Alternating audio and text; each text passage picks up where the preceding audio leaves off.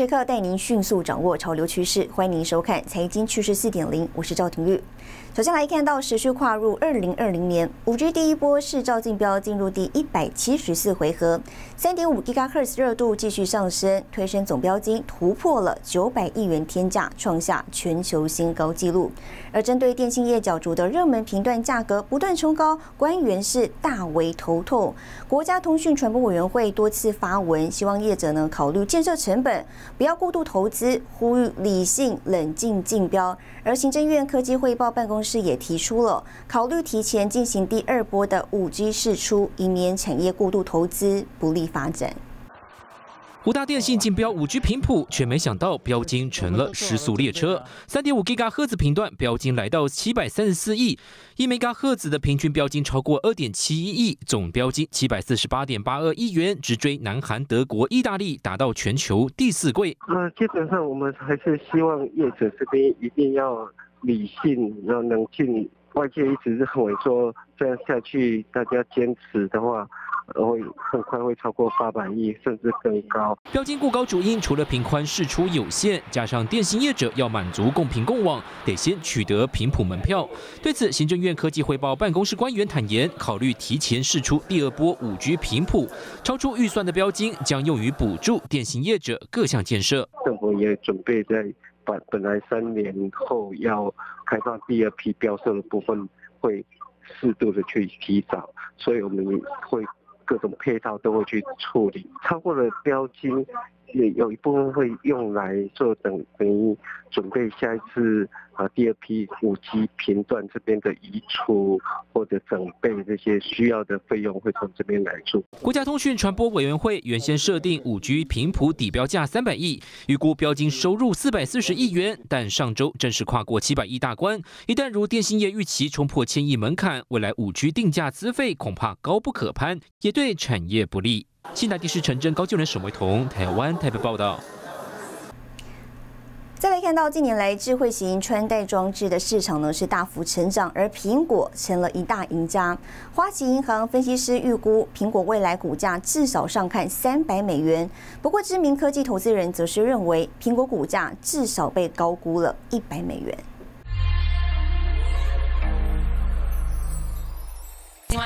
外形设计时尚的 AirPods 以及智慧手表 Apple Watch，强劲的销售力道成为拉抬苹果业绩的主力军。更有分析师预估，苹果未来股价至少上看三百美元。So Apple's wearables, we see that as being the big surprise for Apple when they report earnings within the next month or so. But if you look at the index owners, it has now shifted out of value and more into a little bit back into growth a little bit.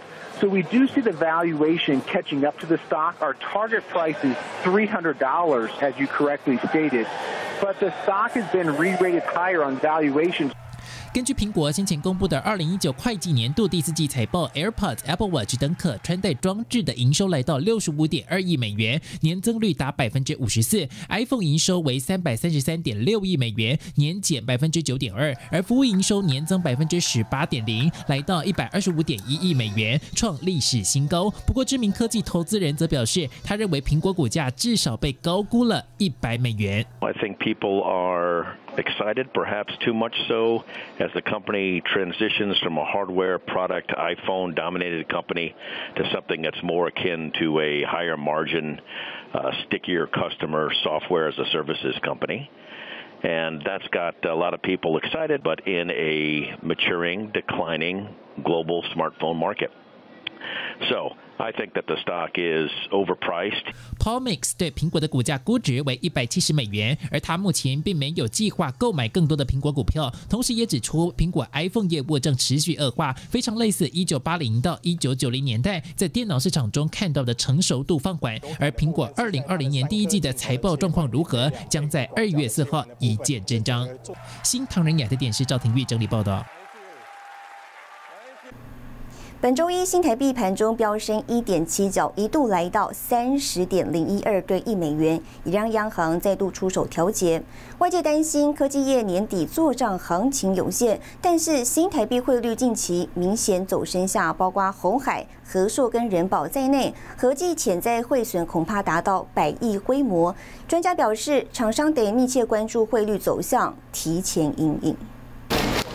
台北外汇交易市场充满烟硝味，新台币早盘飙升一点四三角，来到三十点零六零兑一美元。下午盘再升值四点一分，一度逼近三十点零一二兑一美元。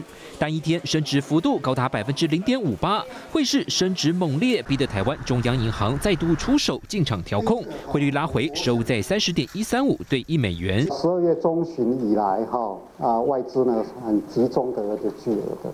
这个是毋庸置疑，具有而且是大量集中的时候呢，我们会介入。新台币今年上半年走贬，下半年美中贸易战产业链从中国撤出，汇率就此一路走阳。今年第四季新台币对美元大幅升值百分之三点一五，远高于菲律宾、泰国、印尼、马来西亚。到年底的话，出口商都需要卖汇，哦，所以每每到年底的话，其实都会有一波不小的一个呃台币啊亚洲汇价的一个走升的一个迹象。台股哈冲上一万两千点啊，然后我们一一月十一号要选总统，啊，所以两兆因素的影响也加注了呃热钱的一个涌入。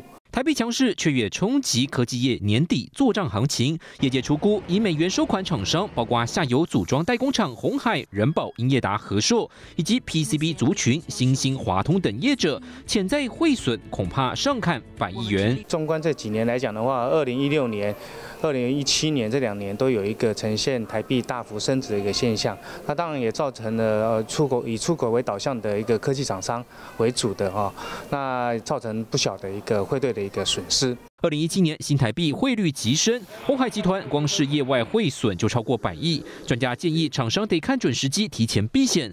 短期内新台币汇率还呈现明显强势，科技业可得绷紧神经。西南电视高就的沈维彤台湾台北报道。接着带您看到这一周的财经趋势短波。讯、Google、苹果等科技巨擘将在下周前往拉斯维加斯参加年度 CES 展，语音助理相关应用渴望成为各家在 CES 的展出焦点。美国用户指出，使用小米米家智慧摄影机，透过 Google Nest Hub 遥控，荧幕上出现的视讯画面竟然是陌生人的家。Google 暂时封锁了 Google Home、Nest 系列以及 Google Assistant 的小米权限，台湾也受到影响。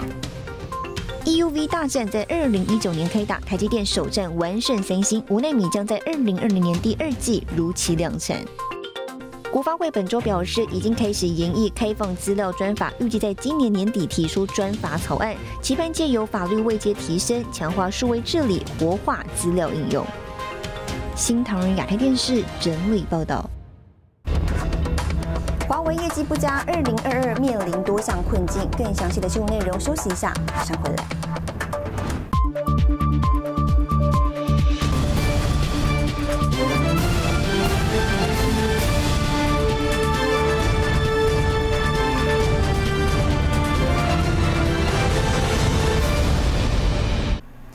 来被指与中共关系密切的网络电信设备商华为，去年二零一九年受到美国出口管制的制裁影响，全年销售成绩低于预期。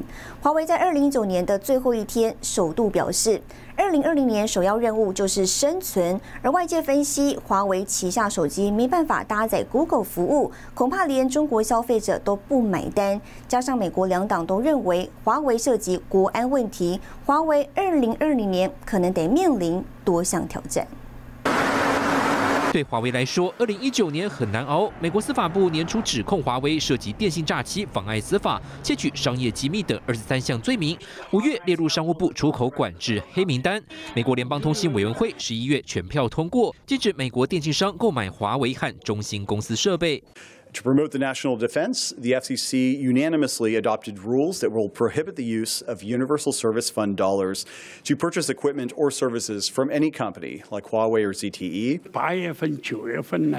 华为总裁任正非对外宣称营运不受影响，但华为二零一九年全年营收一千两百二十亿美元，不如原先预期成长的百分之十九点五。此外，公司并未公布的第四季营收也被外媒路透社算出，实际上成长幅度只有百分之三点九。目前，华为旗下的手机产品无法安装 Google 服务，自主开发系统鸿蒙 OS 研发遇到挑战。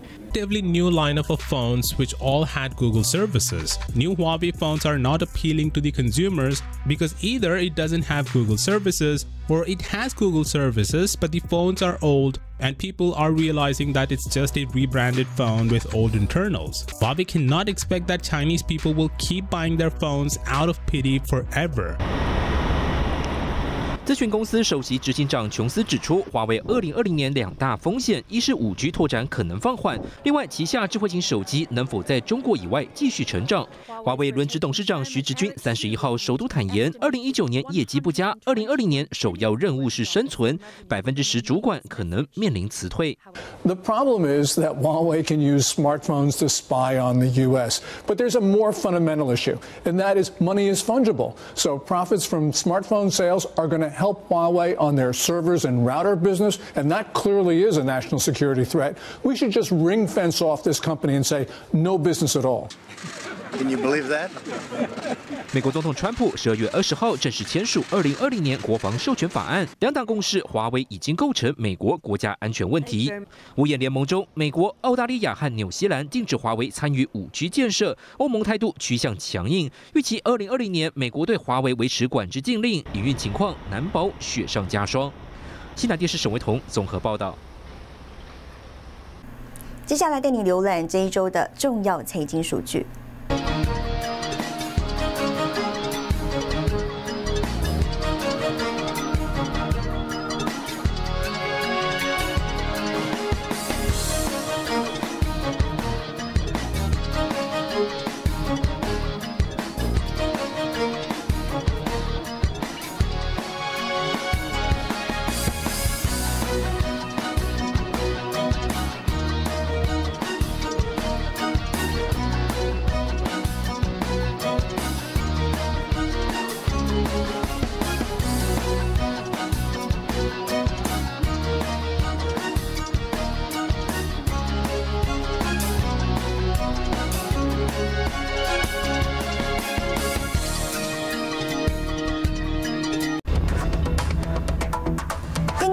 二零大爆发，带您直击台北新车大展。更详细的新闻内容，休息一下，马上回来。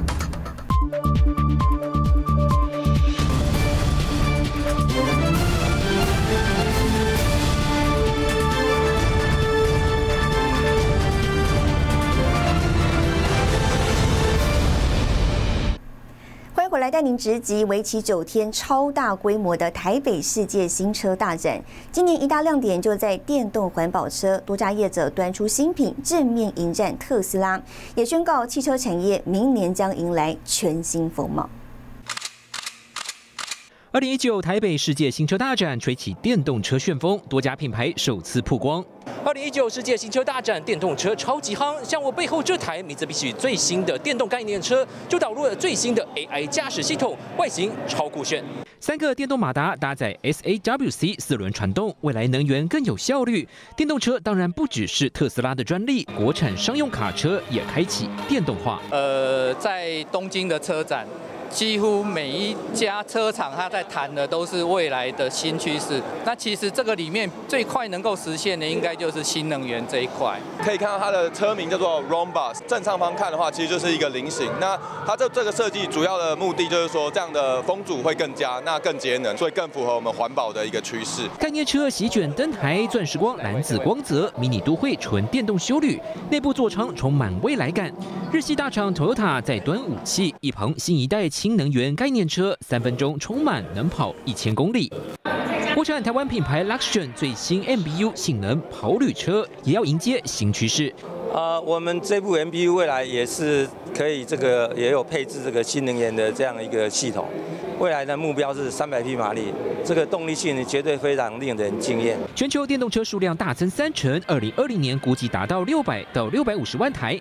保时捷第一台纯电动跑车，二零二零年第一季上路。德国两大车厂奥迪、Benz 大走清明风，都推出旗下纯电动车。明年车市很热闹。明年的总体市场，我们预估跟今年总体市场是大概接近，但是在车辆的成长各有消长。那我们认为智慧车跟电动车这个部分是会成长。台北车展连展九天，三十四家顶级品牌，四千个摊位，九天展期，预估参观人次突破四十万人次，也引领产业话题。新唐人电视只建立沈维彤，台湾台北报道。带您看到下周有哪些重要的财经活动。一月七号到一月十号，消费性电子展登场。一月七号，美国十二月 ISM 非制造业指数；一月九号，台塑木年会；一月十号，美国十二月失业率、非农就业人数变化。谢谢您收看这一周的财经趋势四点零，我是赵廷玉，我们下周再见。